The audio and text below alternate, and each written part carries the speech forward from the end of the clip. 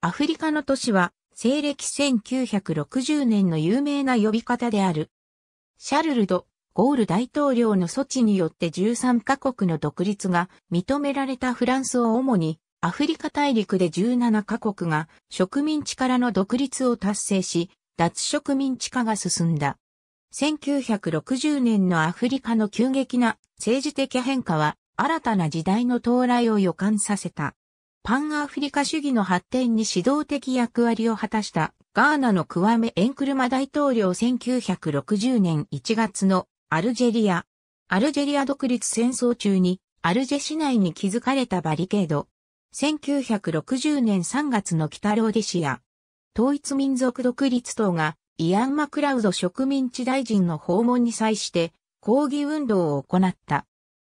1960年2月3日にケープタウンを訪れたイギリスのハロルド・マクミラン首相は変化の風がこの大陸を通じて吹いている。我々がそれを好むかどうかに関わらず、このナショナリズムの高まりは政治的な事実である。我々はそのことを事実として全て受け入れなければならないし、国の政策においても考慮に入れていかなければならないという部分で知られる有名な演説を行い、アフリカ大陸の多くで起こりかけている独立を目指す動きに反対しない考えを示した。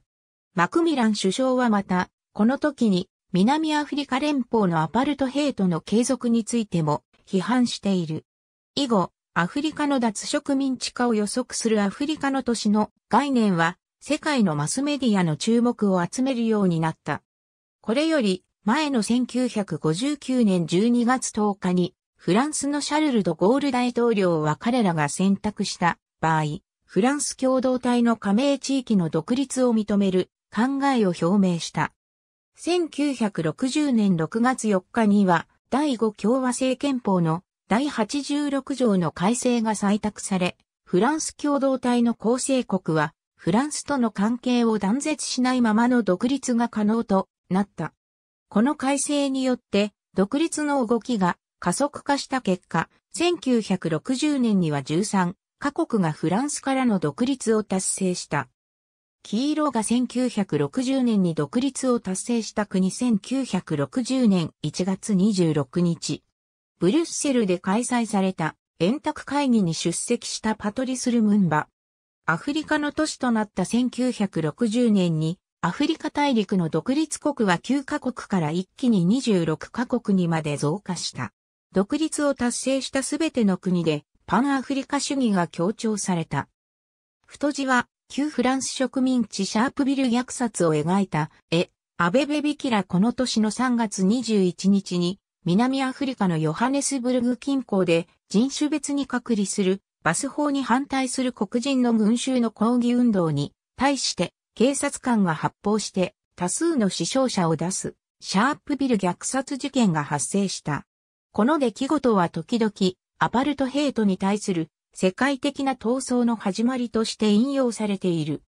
1960年夏季オリンピックにおける陸上競技のマラソン種目ではエチオピア出身のアベベビキラが優勝を果たし、サハラ以南のアフリカ出身者としては、初のオリンピック金メダリストとなった。アベベの活躍は、アフリカ国人の自尊心を高め、新しい時代のアフリカの象徴となった。